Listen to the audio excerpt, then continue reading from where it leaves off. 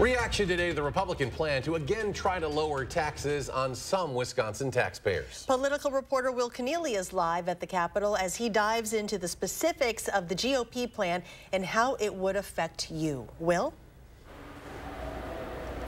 So what we're talking about here with the middle class is Republicans are saying they're targeting to it to the middle class, but how the state's tax brackets work, that means for this tax cut, it's any single filer making between 15 and $225,000.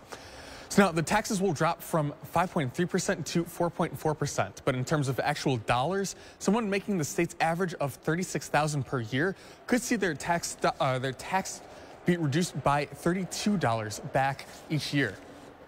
You look at what other states around the country have done. Uh, they have done something similar to us. Uh, the income tax cuts that we offered in the budget, that was never raised as an objection. It just seems like some people uh, don't want to cut taxes no matter how hard we want to try to listen to what their concerns were.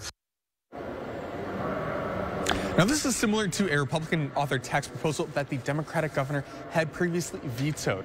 The argument from Democrats here being that uh, the tax cut uh, disproportionately favors the wealthy here. But Republicans took out a provision of their former tax cut that would impact those making essentially a million dollars up.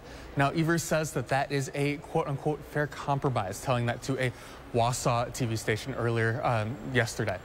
Reporting from the Capitol, Will Kenneally, News 3 Now.